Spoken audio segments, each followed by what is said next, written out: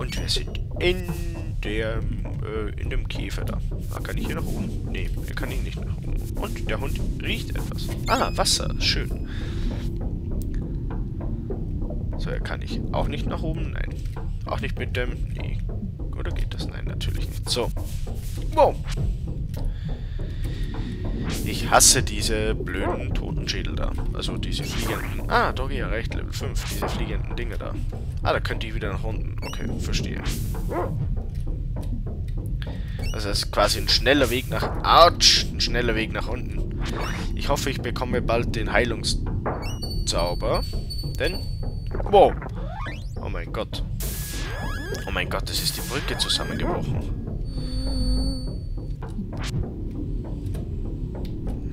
Ach Mensch. Ach ja, toll. Ja genau, mach dieses blöde... Nö, wir kommen her. Dir werde ich es zeigen. So, mir reicht's. Ich wollte eigentlich nicht zaubern, aber dieses Ding, dieses... Ähm, gut, wir haben sechs Hitzeblitz und sechs Schlammbomben. Ich nehme Hitzeblitz. Knochenweber. Dir werde ich es zeigen. Zack. Und, ja, das ist ein guter Schaden. Ah, schön. Gut, jetzt muss ich wohl oder übel hier runter. Hey! Also dazu sind diese Dinge da. Und rauf da. Hallo?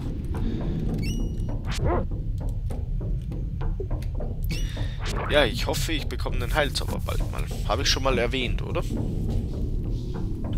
Denn wenn ich den... Ähm, okay. Okay.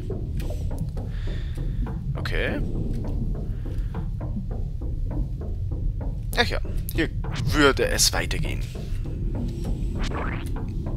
So, runter und rauf. Und diese da. Und diese da. Und hier rauf. Und hier rüber. Ja, das sieht jetzt alles nicht so schlecht aus. Ja. Denn eins ist gut bei diesen Spielen im Unterschied zu äh, Illusion of Time, kann ich hier auch im späteren Verlauf des Spiels, komme ich wieder zu alle Orte zurück, wo ich ähm, schon mal war. Ach ja, toll. Also hier bricht alles zusammen. Das ist ganz toll, muss ich schon sagen. So. Bin ich hier schon wieder... Bin ich hier schon wieder falsch? Nein, ich bin schon wieder falsch gelaufen. Hui!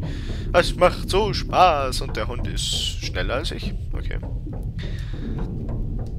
Naja. So, das dritte Mal darauf. Ich habe keine Blätter mehr. Merke ich gerade. Also nee, ich habe schon noch Blätter, aber ich habe keine Energie mehr. Oder wenig Energie. Ja, der Hund, der schnüffelt irgendwas, ist mir momentan ziemlich egal. Lieber Hund, du kannst schon was erschnüffeln. Nee, das ist falsch so. Hier geht's. Nein! Ähm. Ähm.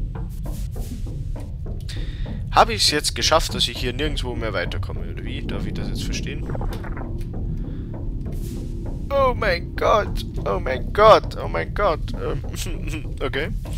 Naja, dann müssen wir eben nochmal runter. Und weil es so schön war, nochmal rauf. Hey!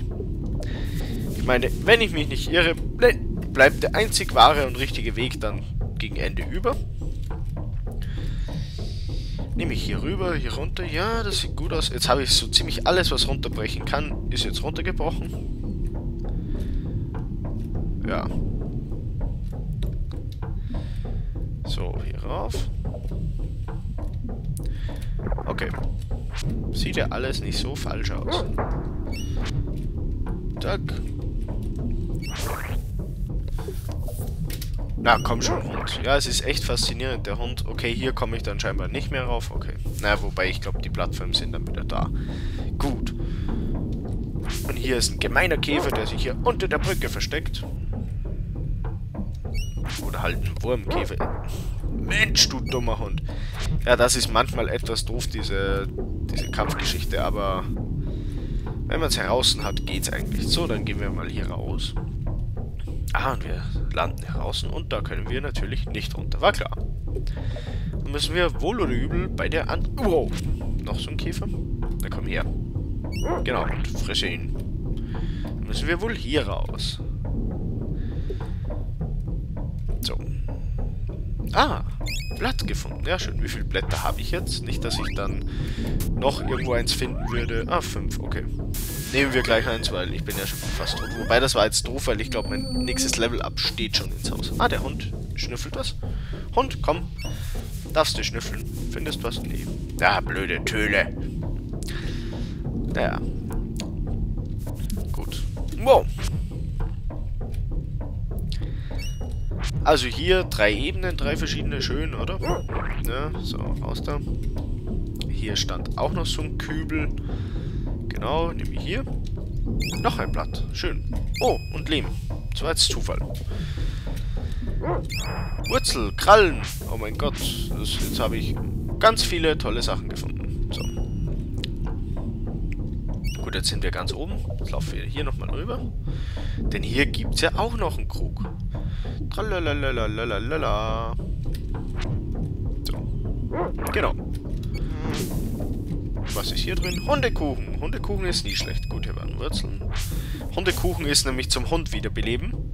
Also beim Hund ist es immer geschickter, wenn man den einfach sterben lässt und damit einen Hundekuchen wiederbelebt, denn da bekommt er, glaube ich, auch die halbe oder wenn nicht sogar die, die ganze Energie zurück. So, und wir begeben uns in den nächsten Raum. Oh mein Gott. Oh mein Gott. Es ist ein Käfer. Der erste Endboss. Ja, und hier werden wir jetzt massiv unsere Alchemie verwenden. Zack.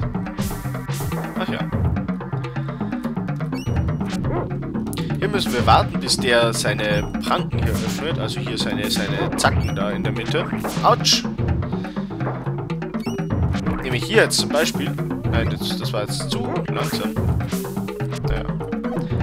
Und irgendwie... Hm. Ja, ich muss nur Acht geben, damit ich nicht sterbe hier.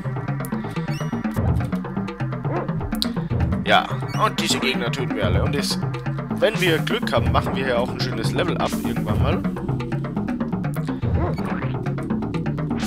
Autsch. So, und ich glaube, ich muss sogar dagegen schlagen, wenn ich mich nicht. Ah ja. Und schnell, Schlammbombe. Linke Klaue, alle. Vulgors Herzklammer. Kammer. Zack, und... Nein, er macht Säure Regen. Oh mein Gott, oh mein Gott, oh mein Gott. Bitte nicht sterben, bitte nicht sterben. Nein, nein, nein.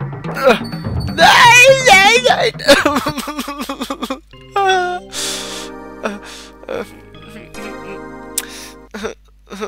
Nein. Ähm, Leute, Mm.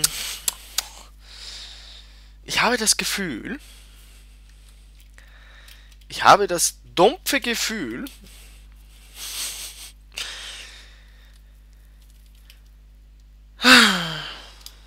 ähm, hallo? Dass sich dieses Spiel schon wieder aufgehängt hat. Nee, also das kann ja wohl nicht... Hallo? Ähm... Hallo? Na toll. Ja, Leute, ich habe das dumpfe Gefühl, dass das jetzt eher suboptimal war, was jetzt gerade passiert ist. Denn ich bin gestorben. Und das bedeutet, letzter Speicherstand. Ja, der letzte Speicherstand ist ja Gott sei Dank hier bei unserem allerliebsten Freund, der uns hier ganz viel tolle Sachen verkauft hat. Nur blöderweise, ja, merkt ihr, es ist relativ weit, weit weg von dem, wo wir eigentlich waren. Und ich sage euch jetzt eins, Leute, nachdem äh, das jetzt etwas doof gelaufen ist, mache ich das jetzt anders. Ich werde jetzt wieder zurückgehen und werde jetzt erstmal ein bisschen trainieren und ein bisschen Geld sammeln, damit wir dann genug Alchemie haben, damit sowas nicht mehr passiert. Dazu gehe ich zu dem Ort hin, wo ich gesagt habe, wo man gut trainieren kann. Nämlich, ich lasse mich hier mal einsaugen. Ja, toll, da kommen wir wieder hier raus. Ja, es tut mir jetzt furchtbar leid, Leute. Ähm, das ist jetzt etwas doof gelaufen, das Ganze, aber wie gesagt, ähm, ja, ich war einfach zu schwach. Nein, nicht eins. Ja, okay. Na gut, Gott sei Dank kommen wir immer hier nach oben wieder. Ähm, Es wird jetzt leider etwas dauern. Aber naja. Es gehört einfach dazu, zu so Spielen.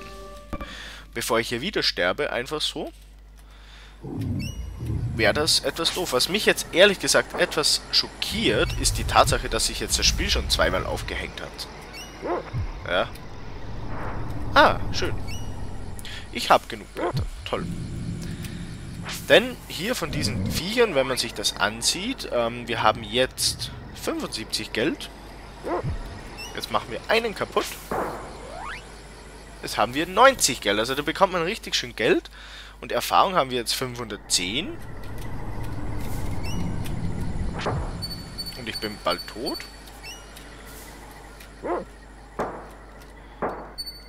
Ich bin jetzt... Ach, Mensch. Jetzt sterbe ich, glaube ich, bei den Viechern auch schon. So. Zack. Ja, macht tot.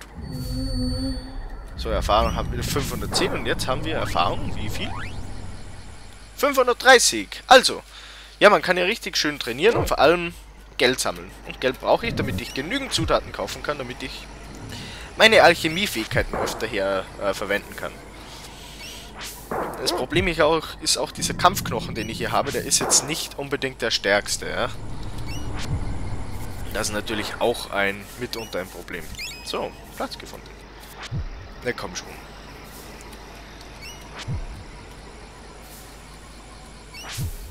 Na? Käferlein? Ja, eine kurze Nebenanekdote zu diesem Spiel. Also das Spiel ist ähm, ja bis jetzt das einzige Spiel, das von Squaresoft in Amerika entwickelt, entwickelt wurde. Weil die wollten eben damals wirklich ein Rollenspiel machen, das eher so für den westlichen Markt zugeschnitten ist. Und deshalb wurde es auch in den USA entwickelt und es ist nie in Japan erschienen. Warum auch immer. Also ich muss sagen, ich finde das Spiel toll. Ich verstehe absolut die, äh, die Probleme nicht, was oder die, die Sachen nicht, was viele Leute mit diesem Spiel haben, weil ich muss sagen, ja, es ist ein tolles Spiel. Ich bleibe dabei. So, auch wenn ich hier jetzt gestorben bin. Weil das Spiel so gemein ist zu mir. Naja. So, was ist jetzt hier? Kommen die jetzt? Achso, da muss ich wieder darüber laufen. Ach ey, das ist gefährlich. Mit Aufhängen und so. Naja, mal sehen. So. Gut. Ja.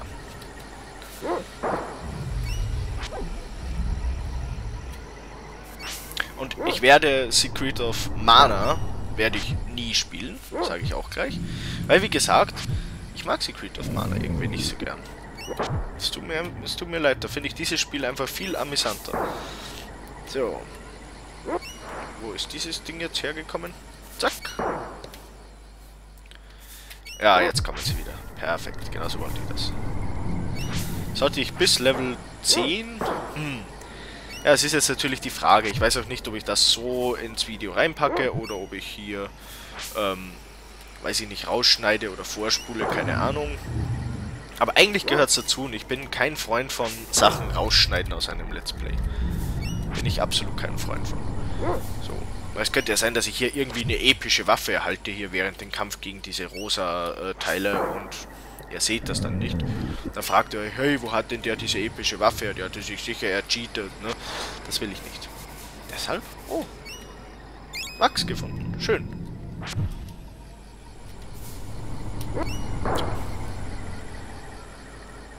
Gut. Ich traue mich hier irgendwie nicht, nicht nach rechts gehen, weil da nicht, dass sich das Spiel da aufhängt. Boah.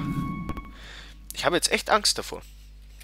Ich weiß nicht, ich weiß nicht wieso. Ich habe das Spiel auch nicht so instabil in Erinnerung. Es ist gemein, ist das irgendwie. So. Zack. Und hier nochmal. Und hier nochmal. Nochmal. Und noch. Autsch!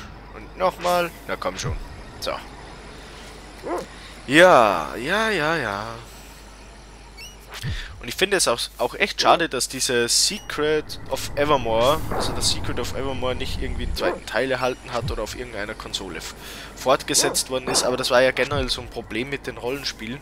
Am Super Nintendo hat Squaresoft damals noch, damals war es ja wirklich noch Squaresoft, da haben die ja noch nicht fusioniert, die beiden Firmen, Square und Enix, wie man es heute kennt. Ähm, da hat Squaresoft wirklich massig richtig tolle, gute Rollenspiele gemacht. Und Enix hat auch massig gute Rollenspiele gemacht, wie Illusion of Time zum Beispiel letztens, das war ja auch von Enix. Äh, und eben als das N64 rauskam, da ja, da war es eigentlich aus mit den Rollenspielen quasi. Square, Squaresoft hatte den Vorteil, die hatten ja noch Final Fantasy, das Final Fantasy Franchise, das konnten sie wirklich, wirklich erfolgreich auf der Playstation dann weitertreiben.